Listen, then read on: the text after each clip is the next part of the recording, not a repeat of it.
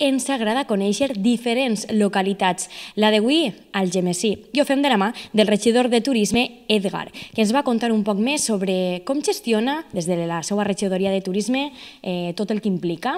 I no res, ens contarà un poquet l'agenda cultural i esportiva d'ací de, del Gemesí.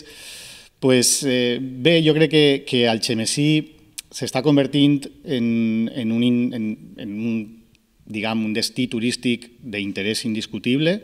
La marca UNESCO, el Patrimoni de la Humanitat, ens ha, ens ha obert les portes, però mm, precisament este any, este any 2020, anem a començar a obrir moltes altres línies d'actuació en la regidoria de turisme per a obrir-nos a, a la gent, per a que la gent pugui vindre al Xemesí, perquè la gent pugui gaudir de totes les coses que tenim. No? Eh, Te'n podria enumerar moltes. Jo crec que en primer lloc la més interessant que hem encetat és, eh, a, més d'aquesta eh, sala, per exemple, en el museu, pues, també eh, una, unes rutes naturals per a que la gent conega tot el terme del Xemesí, perquè la gent pugui vindre en bici o també caminant en família i conèixer els diferents entorns i poder explicar la història del nostre poble i de la nostra comarca a través de l'arquitectura i els paisatges naturals. Jo crec que és una visió diferent del turisme, el turisme cada vegada més està vivint o s'està anant més a les experiències i menys als productes. No?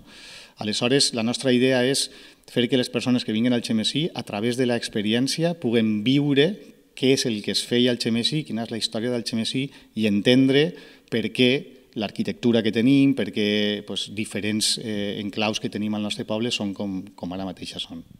Com és un dia a dia en la regidoria de turisme? Bé, doncs un dia a dia en la regidoria de turisme és molt complicat perquè som una regidoria en un pressupost molt limitat. Però eh, sí que és de veres que això ens obliga a ser tremendament creatius. No? Cada dia estem buscant reptes, cada dia estem intentant traure d'on no n'hi ha per aconseguir que les coses passen.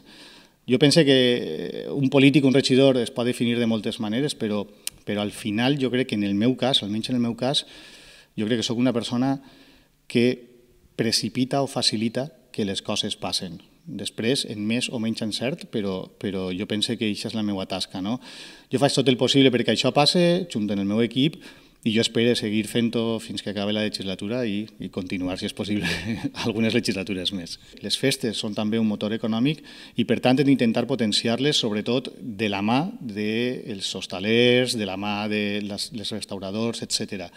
Jo penso que, al final, totes les festes mmm, poden aportar, i que l'única cosa que hem de fer és, com tot en la vida, el tindre aquest equilibri, no? el ser capaços de gestionar bé temes com la seguretat, gestionar bé un poc eh, doncs, quan fas que vinguen molta gent, tot això pot crear alguns problemes a l'hora d'aparcar, per exemple, etc. I en tot això és en el que estem treballant tots i totes eh, regidors i regidores d'este govern. I hem conegut un poc més com se treballa des de la regidoria de turisme i les campanyes que, que se duen a terme des de la mateixa.